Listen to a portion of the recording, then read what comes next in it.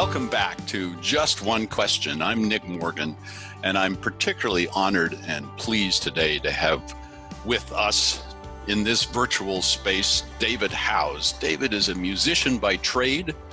Uh, he does the theater by day, which is interesting because uh, theater often happens at night. So he's got something figured out there that I never could. Mm-hmm. And as much time, he says, in the visual arts as possible.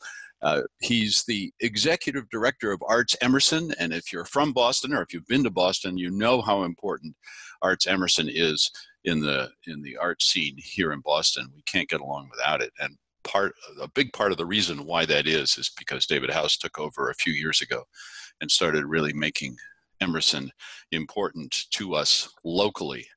Um, so, welcome, David. Uh, check in. Tell us how you're doing.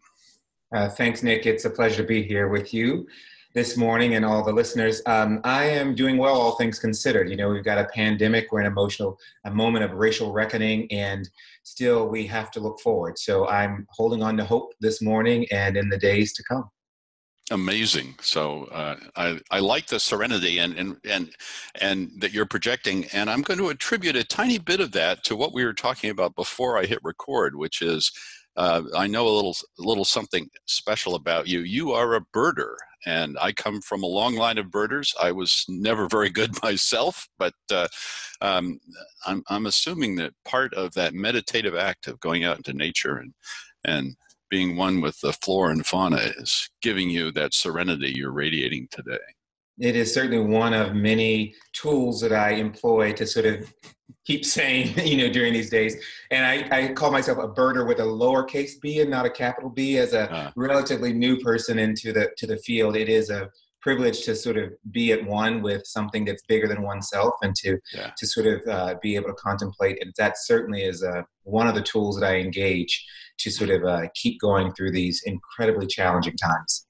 Yeah, and those of us who are lucky enough to have access to nature, I know many people haven't uh, know just uh, how fortunate that that makes us to be able to get out and restore some serenity in the green places. In fact, yesterday I was out on a hike that was supposed to be about 20 minutes uh, in the sunshine, ended up being a two-hour hike in the rain, and yet and yet it was it, was, a beautiful, beautiful, thing yeah. Yeah. Uh, yeah so there we are. Anyway anyway to to business here. You uh, you know and understand the arts you live the arts um, and the arts are something we all turn to and expect to find there when times get tough and we need to understand what's happening to us. We need to find some meaning in the in the difficulties of life, um, and of course, the arts have been hit particularly hard during this pandemic. So, um, now that it's been with us for a while, um, tell us uh, as you've made whatever transition you can to the virtual world and keeping arts alive, what's working in the virtual world and what isn't? Yeah, thanks the good, very good question. And um, I'll start by saying that I'm really, I've been encouraged by the swift and um, very elegant move into this virtual space, which we're calling sort of our, our new venue. At Arts Emerson, we have about seven venues that we manage and now we have eight because we have this virtual space. And uh, you know i say both from a programmatic as far as delivering the the art but also from a, um, an operational side. Um, it actually this sort of dirt, virtual space has allowed for you know surprisingly meaningful connection certainly between our teams between our artists between um, patrons and audience members. It's allowed for you know better communication. There are people on my team that i would see maybe once a month you know and now i get to see a couple of times a week because of this sort of new reality that we're in. And the other thing that it's been really surprising um, is the level of increased engagement so I, I, see that both in the nonprofit arts boards that I serve on. I see that in my own organization because it's much easier. We don't have the travel time to sort of turn on your computer and log into a meeting.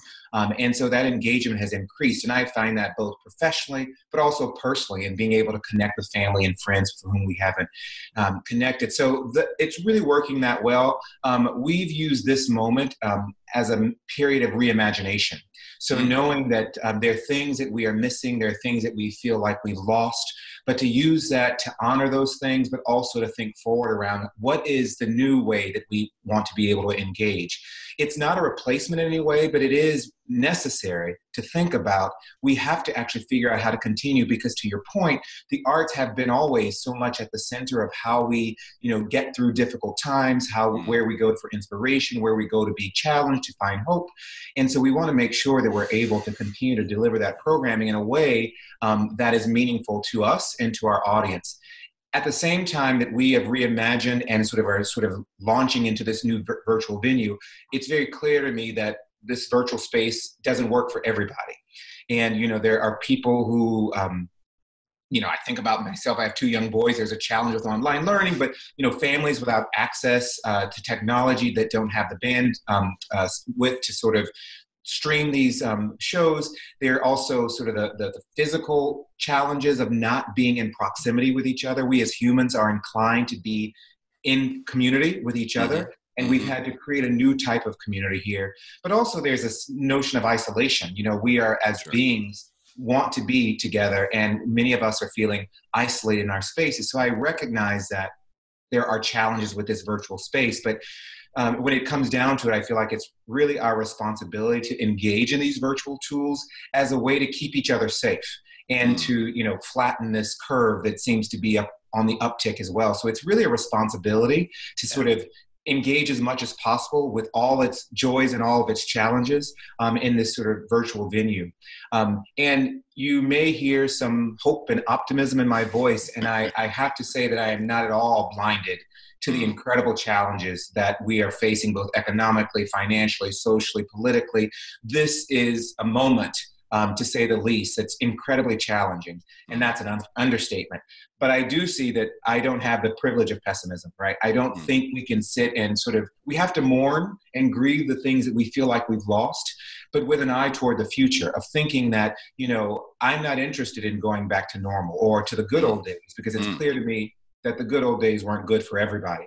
Yeah. And in this gift of this gap in time that we have as a result of the pandemic and as a result of this moment of racial reckoning, there's a gift that we can sort of reflect and think about how do we look toward a future that's better for everybody, right? Where mm. people are seen, they feel like they belong, they're visible, not only in our arts venues and our art spaces, but in society writ large. And so that's what gives me sort of incredible hope um, and mm. as we look toward the future. And I know that this virtual space is just one of the tools that we'll have to employ and engage in new ways as we even think about what it means to go back into live performances that we miss deeply and, and dearly. Fantastic. Uh, I love the optimism and I really appreciate it because there are days when I've just been so discouraged thinking it's going to be a very long time before we can get back together in the ways that we're used to getting together, uh, whether in the kind of speaking world that I spend most of my time in or the arts world. So I really appreciate the optimism. I just want I can't resist asking one little follow up question, which is uh, do you think, so of course, as you alluded to, we're all looking forward to that day when we can get back into uh, public performance spaces again. Um, and you mentioned the virtual world as an eighth. Uh, stream or, or part mm-hmm. of, of mm-hmm. the many venue the many uh, venues that you have how much of that do you think he'll keep, or is that an unfair question? Uh, uh when it's not at all unfair. And and you know there'll be this moment when finally we're all let out of uh, out of our confinement and we can get back together. And, and I'm imagining we'll party in the streets for a while. But you know, once that settles down, how much of that of that eighth venue do you think you'll keep? So we are um, in this moment. We are planning to keep that and maintain that because when we do return to public spaces in the way that we were, not everyone will be ready to come back at the same pace. And we have a number of patrons who may have conditions or age that prevents them from feeling comfortable for returning. And so we want to make sure that we, um, because we believe that arts belong to everybody, we want to make sure that we're able to serve all of our audiences and multiple audiences in spite of their comfort to come back in those virtual spaces. So we're at this moment very committed to maintaining. That's why we're saying it's an eighth venue and yeah. not just an experiment. It's an eighth venue that we're responsible for maintaining. So we're we're committed because we know that everyone's not going to be prepared to return at the same time. That's fantastic. I really appreciate that. I'm glad you're thinking through it in that in that profound way. So David Howse, thank you so much for joining Just One Question. No, it's my pleasure. Thanks for having me.